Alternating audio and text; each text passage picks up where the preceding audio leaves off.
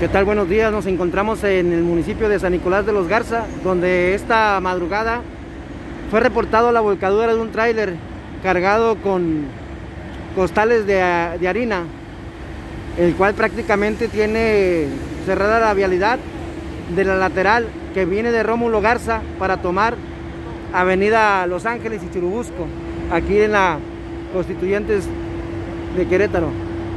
En este sitio, cerca de las 4.40 horas, un trailero identificado como Mario Díaz perdió el control de su unidad al salir de aquí de la lateral del, puente y volcó, tirando su carga que consiste en costales de harina, la cual prácticamente mantiene bloqueada la circulación de esta zona de la ciudad.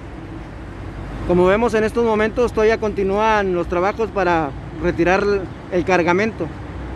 Son decenas o cientos de costales eh, con eh, paquetes de harina, el cual quedó derramado aquí sobre los carriles de circulación y sobre lo que es el camellón central aquí debajo del puente. En este momento, Movilidad de San Nicolás mantiene un operativo de cierre de la circulación de Rómulo Garza hacia la zona que conecta con la avenida Los Ángeles. Aquí vemos cómo está el operativo del municipio de San Nicolás. Es la lateral. Viene de Rómulo Garza para tomar hacia Los Ángeles y Churubusco y es donde se encuentra el cierre. El accidente se da exactamente aquí en esta curva que vemos.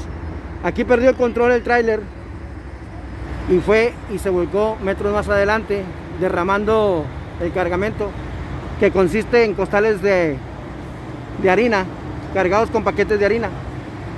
Ya en este momento empleados de, de la compañía de este mismo tráiler están retirando. Las autoridades de vialidad de aquí del municipio de San Nicolás no reportan personas lesionadas.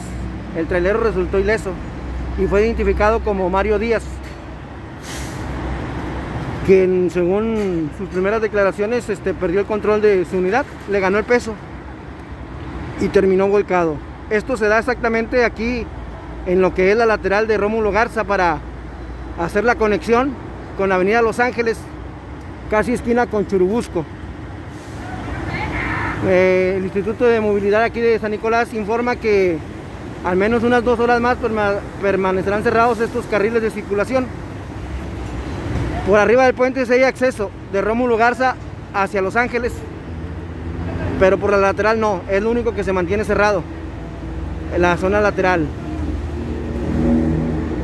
Aquí nos mantenemos en la zona, este, espere más detalles de esta información en nuestros espacios informativos y plataformas digitales.